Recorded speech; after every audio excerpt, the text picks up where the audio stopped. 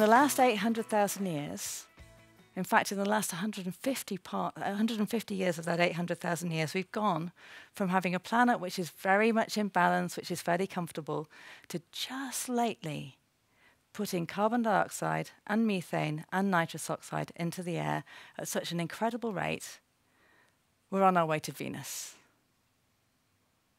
So that seems like a bad thing, right? And I'm not the only one that's noticed that, luckily.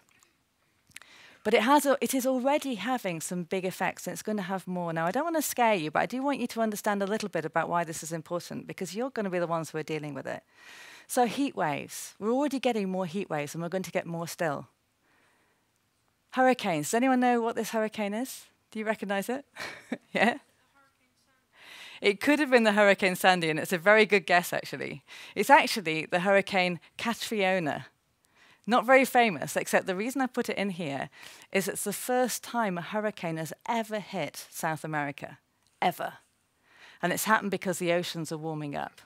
So there's hurricanes all over the world. There's also Hurricane Haiyan two years ago, which is the strongest hurricane that's ever hit anywhere. It had winds of almost 200 miles an hour. It killed 6,000 people. It displaced 11 million people. And it was the strongest until a couple of weeks ago when another one hit Mexico that was even stronger.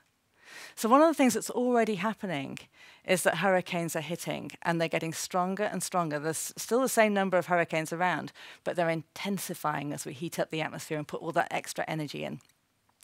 And uh, thank you for saying Sandy, because this was the consequence of Hurricane Sandy. It's amazing. This is lower Manhattan, uh, New York City. And you can see that parts of New York City got switched off for nine days. And in fact, I talked to a woman who was there at the time, and she said she actually had to walk up. It was about two miles to get to the place where the lights were on because she wanted to eat a burger, she wanted to drink some Coke, and she wanted to pretend she was back in the normal world.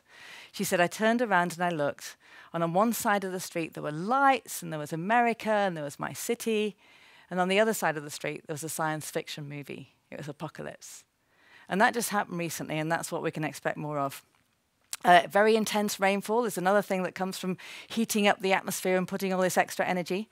Um, more, more disease. This lovely lady is a, is a, is a female mosquito because they're the ones that, that bite. Watch out for females. That's always what I say when I see this.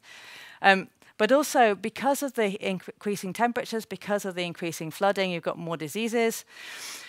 You've got more drought. You've got a reduction in food already. And you've also got increasingly the dangers of uh, migration. People who are actually uh, uh, have to leave their own homes because they don't have enough food there, they don't have enough water there, and they start moving. And we're already experiencing that uh, in, in, horrible stories of, of children uh, trying to get across the Mediterranean into Europe to be able to survive. So, um, all of those things are bad. And then there's a couple more. Uh, melting of Greenland, the Greenland ice sheet. Uh, Greenland has not as much ice as Antarctica, but still quite a lot, and it already seems to be melting, and we don't know how fast. Antarctica, parts of Antarctica melting, and there are forests, forests with frozen soil where the soil is melting, and it's giving out methane, another of those greenhouse gases.